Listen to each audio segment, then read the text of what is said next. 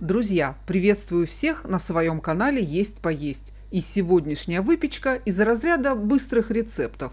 Нужно лишь все размешать, поставить в духовку и через некоторое время звать всех к столу. Я думаю, этот шоколадный пирог выручит вас, когда нужно что-то быстро приготовить к чаю, а заморачиваться не хочется. При желании в тесто вы можете добавить орехи, сухофрукты или замороженные ягоды. Смотрите список ингредиентов под описанием к видео. Итак, в первую очередь просеиваю муку с порошком какао. Сюда же отправляю сахар, соль и ванильный сахар.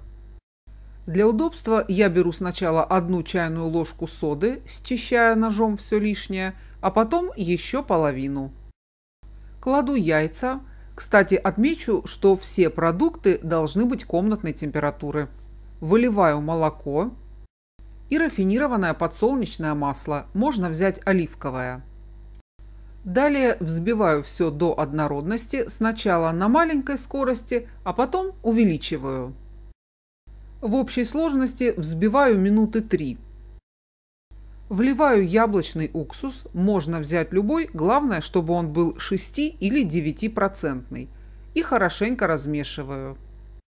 Тесто готово, оно не должно быть сильно густым.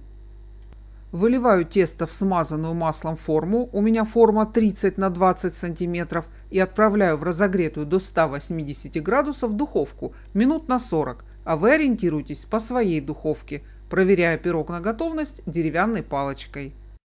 Пока пирог остывает, делаю глазурь. В кастрюльку положила порошок какао, добавляю сахар и по желанию что-нибудь спиртное, коньяк или ликер. Вливаю немного молока, его я буду добавлять постепенно, регулируя густоту глазури. Размешаю и при необходимости добавлю еще молока. Далее отправляю на плиту и буду держать на умеренном огне, непрерывно помешивая. После закипания варю буквально 30 секунд, не переставая помешивать. В горячую массу кладу кусочек сливочного масла, размешаю. Переворачиваю пирог вверх дном и на нижнюю часть наношу глазурь. Если хотите, поверхность можно выровнять. Я к этому особо не стремлюсь. Сверху посыпаю лепестками миндаля. Их можно заменить просто дробленными орехами или чем-нибудь еще по вашему вкусу. Пирог у меня еще не остыл до конца, но он хорош как в теплом, так и в полностью остывшем виде. Пирог получается очень вкусным, нежным и мягким по структуре. Он такой пористый и воздушный. Кстати, если хотите пирог повыше, возьмите форму меньшего размера.